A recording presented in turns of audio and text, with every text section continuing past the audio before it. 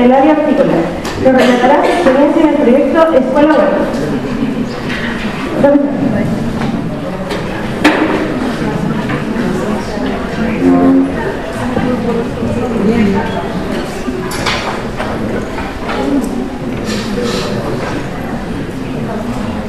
¿Se escucha atrás? Si se da el micrófono, pero si no, por si acaso. Bueno, la verdad es que la idea de, de contarles un poco este tema del proyecto Escuela Huerta nació hace ya un tiempo atrás. Eh, partió inicialmente con un proyecto de extensión eh, Valentín Letelier y posteriormente derivó nos encontramos varias personas trabajando en temas comunes eh, en los cuales nos vimos vinculados y la necesidad de empezar a generar vínculos específicos.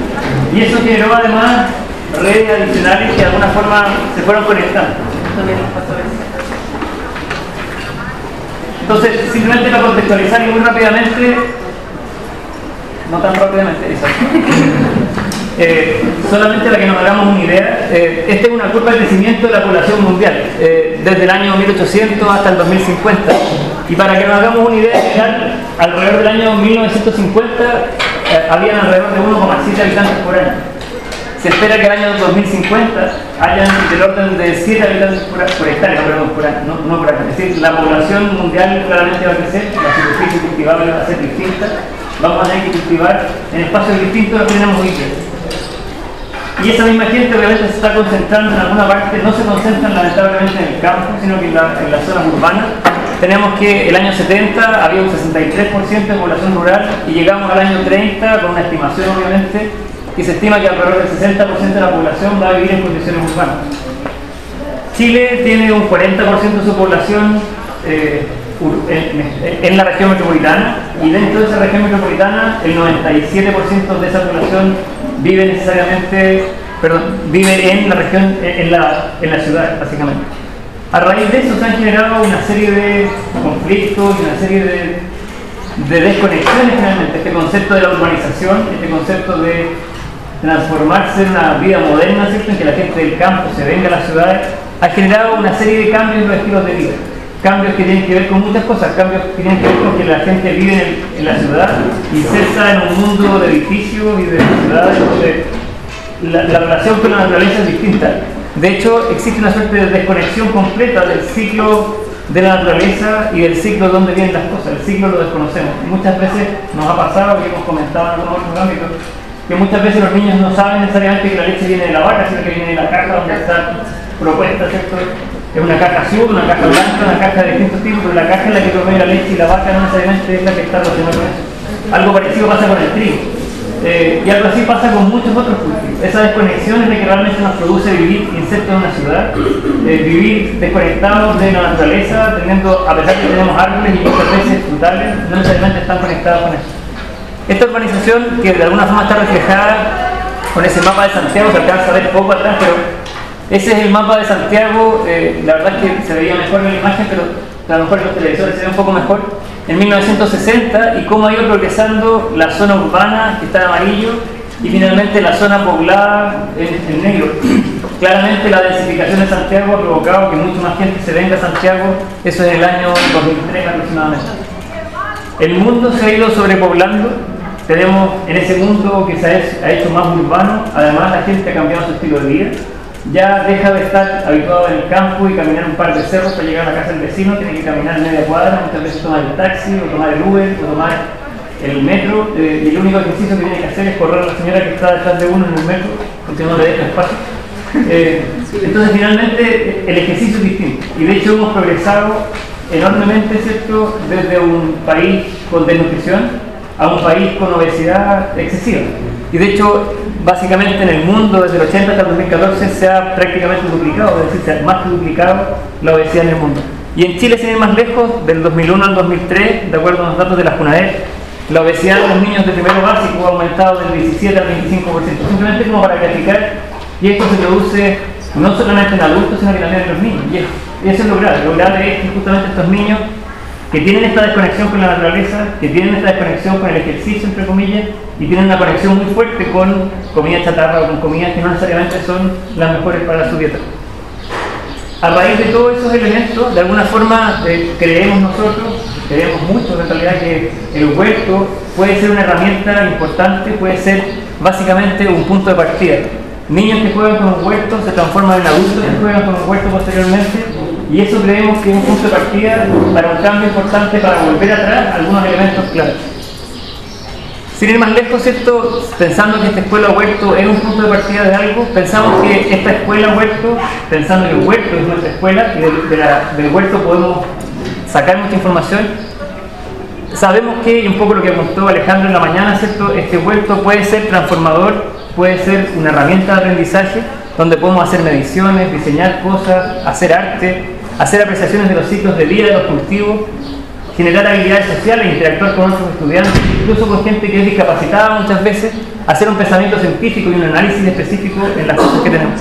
Claramente eso promueve la salud, promueve la salud porque vemos el ciclo, vemos los cultivos, vemos las plantas y obviamente nos provee una seguridad alimentaria distinta de la que tenemos cuando dependemos de cultivos que vienen desde las zonas periurbanas de, de los alrededores o incluso de zonas muy distantes de donde yo vivo hablábamos recién en el almuerzo, ¿cierto? Que eh, gente que vive en Coyhaique eh, muchas veces consume hortalizas que no vienen necesariamente de Coyhaique, sino que vienen de Concepción y van a Santiago, se comercializan en los valledores y después viajan hasta Coyhaique.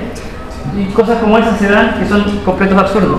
Entonces este huerto, que de alguna forma es fuente de información, puede generar una serie de preguntas que de alguna forma los niños en la escuela pueden necesariamente ir respondiendo dibujar plantas, ¿cierto? Dibujar ciclos biológicos de las plantas, calcular cuánto vale una lechuga, cuánto pesa la lechuga, cómo crece la lechuga, cómo crece un tomate.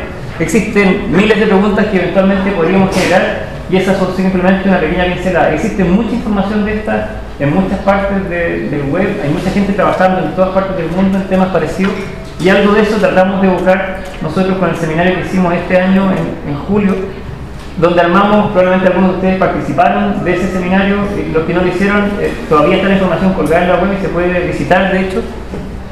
Si buscan por Seminario de Educación por la Tierra o, Seminario Escuela Huerto, aparece automáticamente, el seminarista los resúmenes del Congreso.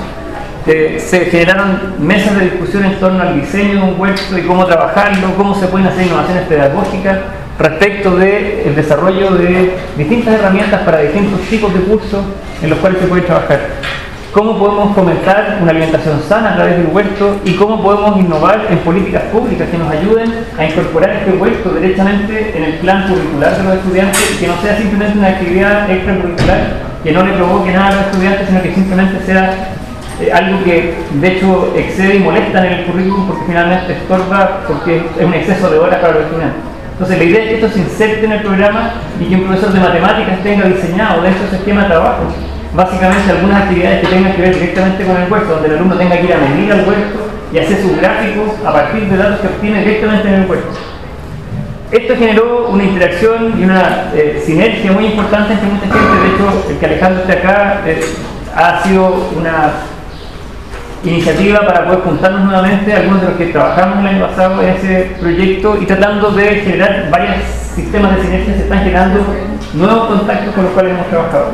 Uno de estos proyectos fue uno de los proyectos en los cuales trabajamos y simplemente mencionar que así como salió este proyecto de, eh, de vinculación de muchos actores que están trabajando en torno a un huerto, nosotros partimos trabajando con algunos colegas de acá de la facultad como una forma de ir vinculando la universidad con eh, el mundo de los huertos en distintas instancias. Inicialmente partimos trabajando en la Villa Santa Elena, que está detrás del Estadio Monumental, con una comunidad que trabajaba directamente eh, una pequeña huerta, les ayudamos a montar la huerta, fomentamos a que hicieran huertas en distintas casas y tratamos de estimularlos a que formaran otras instancias.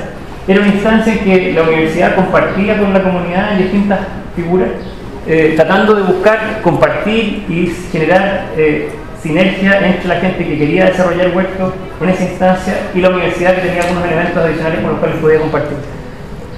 Fue un proyecto muy interesante, no solamente desde el punto de vista que participamos directamente en la, en la villa, este proyecto fue muy difundido por distintos chiripazos que tuvimos, la verdad que nos encontramos con la televisión trabajando en el mismo lugar, salimos de este programa Cambio Global, eh, lo, lo, lo, difundimos por muchas vías distintas.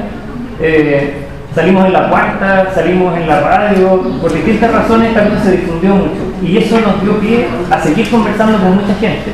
Hoy día se nos han acercado varios colegios que están interesados en hacer huertos y generar esta red de huertos que tanto nos interesa poder generar.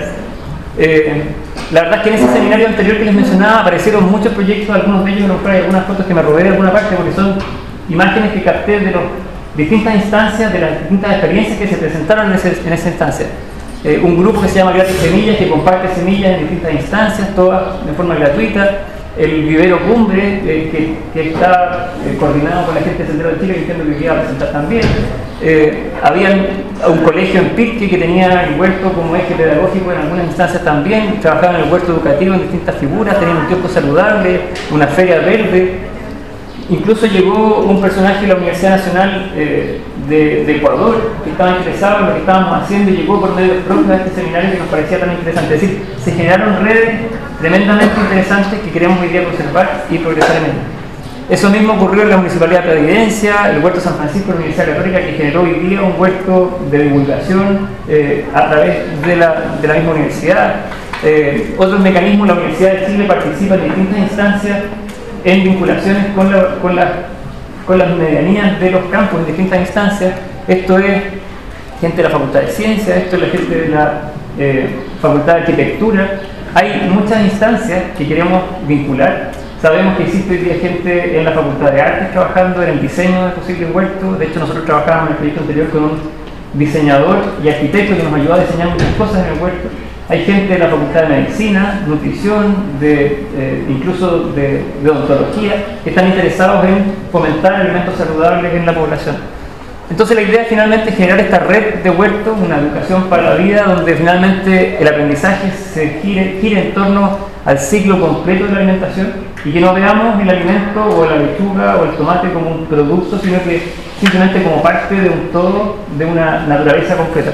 Eh, sabemos que queremos vincular a los estudiantes, que si la medida que vinculamos nosotros los estudiantes con profesores, con la comunidad, esto va a generar y la sinergia va a ser mucho más fuerte. Esto es simplemente para mostrarles que estas redes no se presentan solamente en Chile. Bueno, Alejandro ya nos ha contado eh, de, lo que se ha desarrollado en Canadá, pero ya solo en Latinoamérica se ha desarrollado esto que se llama hoy día Red Internacional de Puestos Escolares. O sea, existen instancias internacionales donde ya existe interacción de este tipo de elementos a las cuales queremos apuntar y queremos tratar de fomentar que estas cosas funcionen sabiendo que eso aporta hacia allá. Y básicamente sabiendo que queremos cultivar, cosechar, consumir, compartir y compostar. Y aquí alguien me decía que faltaba una parte, que en alguna parte alguien tiene que ir a desechar esto. Eh, algunos tiran la cadena, otros lo pueden poner en otra parte, pero finalmente es parte del ciclo este compostaje que aquí lo vemos en ese formato. En otro formato podría ser de una forma distinta, pero creemos que esa es la forma. Tenemos que generar vínculos para poder girar en torno al ciclo completo, esos vínculos están en la universidad, hay un montón de entusiasmo en los estudiantes de la universidad, hay mucho entusiasmo en distintas comunidades escolares, eh, comunidades municipales, que generan instancias de vinculación. Quería contarles básicamente eso, eso es un poco la, experiencia que hemos tenido y creemos que es una forma de ir mostrándoles las proyecciones que esto puede tener, la vinculación que puede tener la universidad con muchas instancias de colaboración. Eso es por ahora, muchas gracias y no sé si...